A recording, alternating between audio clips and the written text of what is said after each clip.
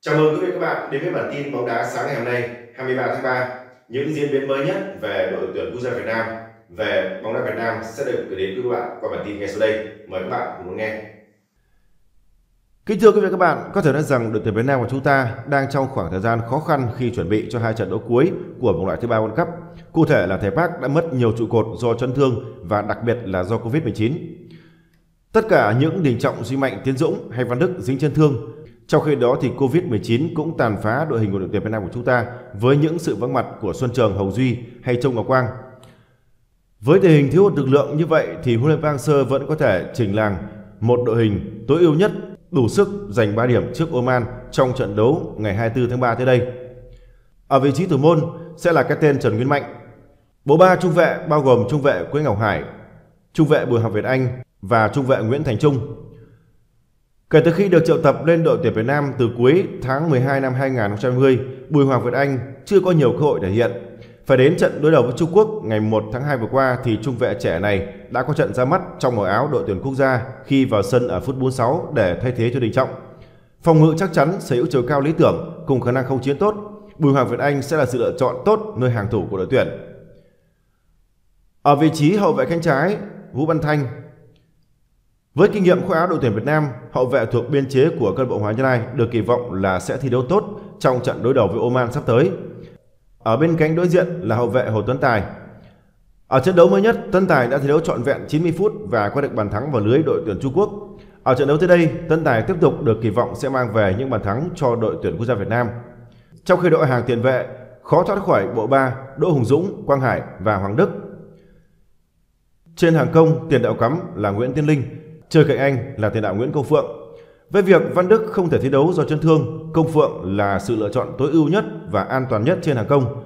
Trước đó thì thầy Park cũng từng thử nghiệm Công Phượng để đá cặp cùng Tứ Linh trên hàng công và đã có được những sự ăn ý.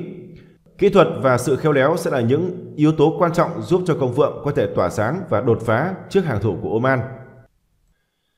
Quý vị và các bạn thân mến, trong hành trình vòng loại thứ ba World Cup 2022, không ít lần đội tuyển Việt Nam khốn khổ vì các quyết định khó hiểu của các trọng tài lẫn trọng tài va. Ở trận gặp Oman ngày 24 tháng 3 tới đây, thực sự là đông đảo người hâm mộ Việt Nam chỉ mong là tổ trọng tài điều hành tốt trận đấu này. Chiều ngày hôm qua 22 tháng 3 thì các trọng tài được Liên đoàn bóng đá thế giới FIFA phân công làm nhiệm vụ cho trận tuyển Việt Nam tiếp đội Oman đã có bài tập tại sân hàng đẫy đây là lần thứ ba ông Hattab Hana, trọng tài sắp bắt chính ở trận đấu này và hai trợ lý của mình sang Việt Nam.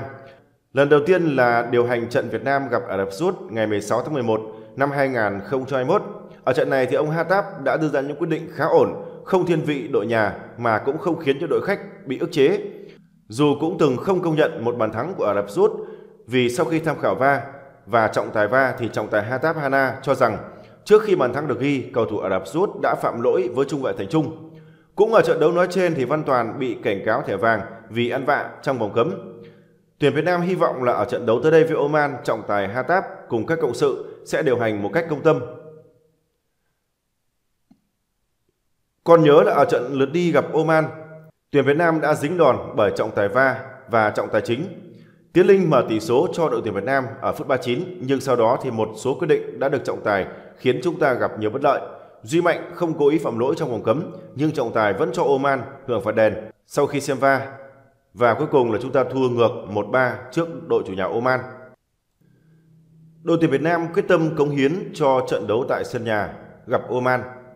Các bạn thân mến, chiến thắng trước Trung Quốc trong ngày đầu năm mới đem đến niềm hạnh phúc cho người hâm mộ và đội tuyển Việt Nam. Chúng ta sẽ có cơ hội làm điều đó thêm một lần nữa Thất bại trước Oman ở lượt đi diễn ra vào năm ngoái chỉ ra rõ những hạn chế của đội tuyển Việt Nam.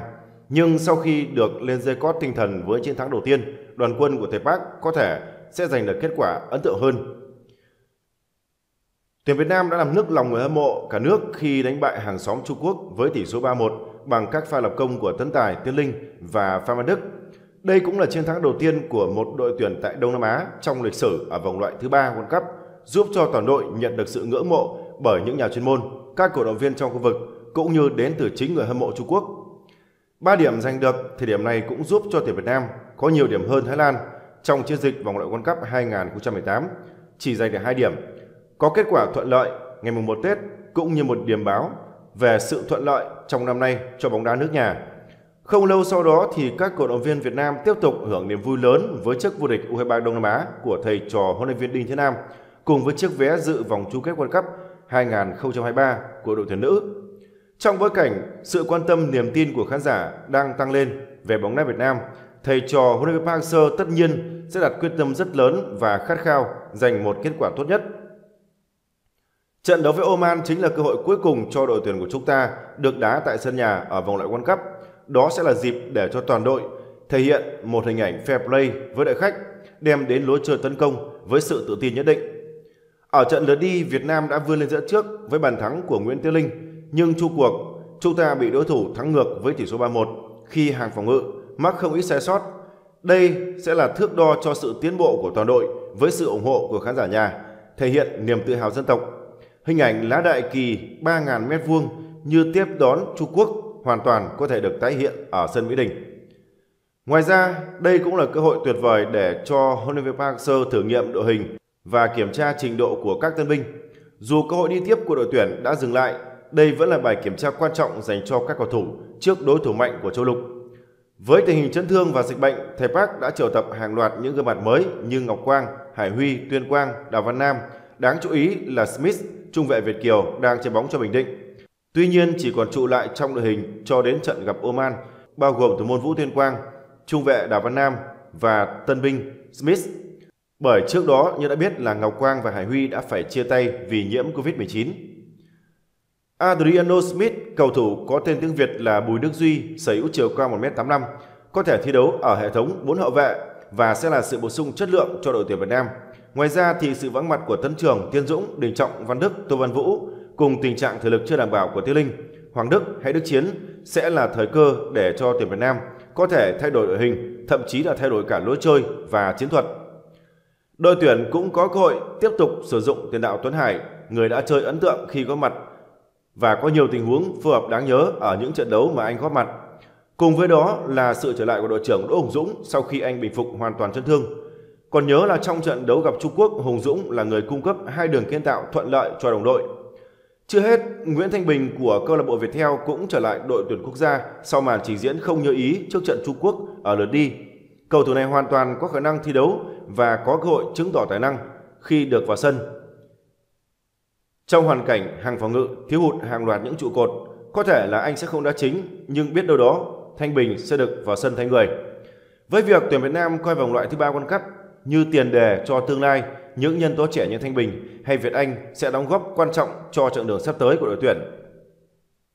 Trong cuộc phỏng vấn ở đợt triệu tập, thầy Park từ chối chia sẻ về mục tiêu trước Oman cũng như trước Nhật Bản, nhưng chắc chắn với lợi thế tại sân nhà, toàn đội sẽ nỗ lực hết sức để đem đến một kết quả suôn sẻ hay chí ít cũng là một hình ảnh tích cực để cống hiến cho khán giả, củng cố tình yêu bóng đá cho người dân cả nước trước những thành tích đáng tự hào trong thời gian qua. Cơ hội nào cho các cầu thủ Hoàng Anh Gia Lai trong đội tuyển Việt Nam ở hai trận còn lại tại vòng loại World Cup? Quý vị và các bạn thân mến, Hoàng Anh Gia Lai có 6 cầu thủ được gọi lên đội tuyển quốc gia lần này.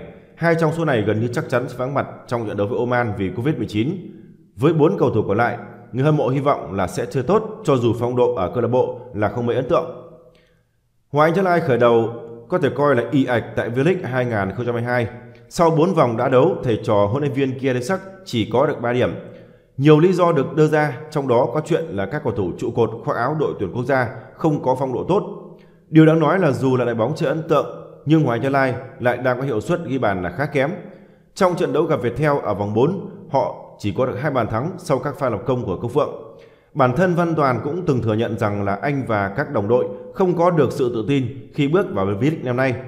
Còn Kia Desak cảnh báo các học trò trước tình trạng chán bóng và có vẻ như nhà cầm quân này đang phải loay hoay tìm giải pháp giúp cho các cầu thủ trở lại, nhưng ông vẫn chưa thành công.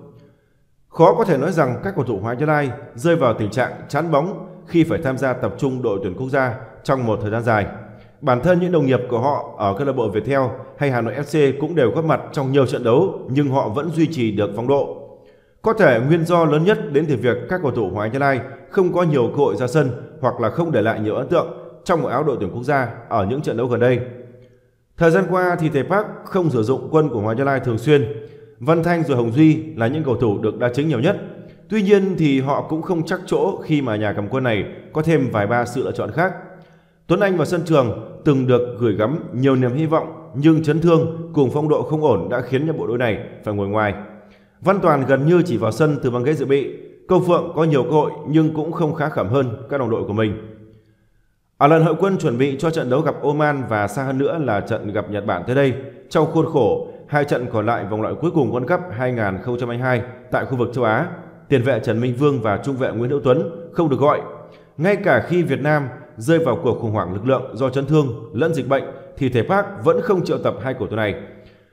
Có người đặt vấn đề là đáng lẽ nhà cầm quân Hàn Quốc cần phải gạch tên thêm một vài cầu thủ Hoài Gia Lai khi họ không có phong độ cao. Thật ra thì ngay cả thời điểm Hoài Gia Lai chơi tệ, đội bóng này vẫn đóng góp nhiều tuyển thủ nhất cho đội tuyển. Có những nghịch lý khó lý giải, họ có thể chơi không tốt ở câu lạc bộ nhưng lại tỏa sáng trong một áo đội tuyển quốc gia. Câu Phượng là gương mặt tiêu biểu khi anh rực sáng tại Asian Cup 2019. Huấn luyện viên Park Hang-seo là người theo dõi sát sao và ông hiểu đâu là thời điểm sử dụng những cầu thủ của câu lạc bộ Hoàng Gia Lai phát huy được những phẩm chất của mình. Cũng cần phải khẳng định rằng các vị trí mà các cầu thủ Hoàng Gia Lai đang nắm ở đội tuyển Việt Nam, họ vẫn được công nhận là những người giỏi nhất cho vị trí của mình. Cho nên Công Phượng và các đồng đội dù chơi không mấy ấn tượng trong áo câu lạc bộ, nhưng họ vẫn nhận được sự tin tưởng tuyệt đối khi ban huấn luyện không tìm được nhiều phương án khả dĩ hơn. Trong bối cảnh mà đội tuyển Việt Nam mất đi nhiều quân bài quan trọng, những cầu thủ như Văn Thanh, Tuấn Anh, Văn Toàn, Hồng Duy có thể vẫn gánh vác trọng trách của mình trên đội tuyển quốc gia. Và điều quan trọng nhất là các cầu thủ này cần một điểm tựa về tinh thần thay vì những lời chê bai. Các bạn thân mến, trên đây là toàn bộ bản tin bóng đá sáng ngày hôm nay 23 tháng 3. Cảm ơn các bạn đã quan tâm theo dõi. Xin chào và hẹn gặp lại.